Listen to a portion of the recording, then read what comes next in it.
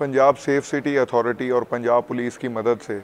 Asia cup के लिए security के खसूस इंतजाम किए गए हैं मेहमान टीम अफगानिस्तान की आमद एयरपोर्ट से होटल और इर्द गिर्द तमाम रूट्स की 24 घंटे सेफ सिटीज़ कैमरों से निगरानी जारी है मैचेस की सिक्योरिटी के लिए 600 से जायद कैमरों से मॉनिटरिंग की जा रही है टीमों की मूवमेंट के दौरान होटल से कजाफी स्टेडियम और स्टेडियम से होटल तक ऑपरेशन एंड मॉनिटरिंग सेंटर से सर्वेलेंस की जा रही है सेफ सिटीज अथॉरिटी सेंटर और फील्ड में टेक्निकल टीम फ्राइज सर अंजाम दे रही है पी आर यू गाड़ियों पर नस्ब सेफ सिटीज कैमरों से भी रूट्स की मॉनिटरिंग मॉनिटरिंग जारी है सेफ सिटी एफ एम